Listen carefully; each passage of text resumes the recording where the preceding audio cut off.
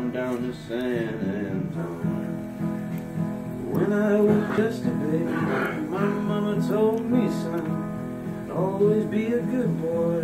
Don't ever play with guns. But I shot a man in Reno just to watch him die. When I hear that lonesome whistle, I hang my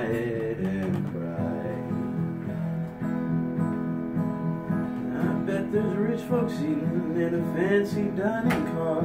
They're probably drinking coffee and smoking big cigars.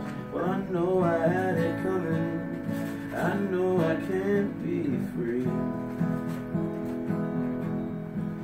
But those people keep moving, and that's what tortures me.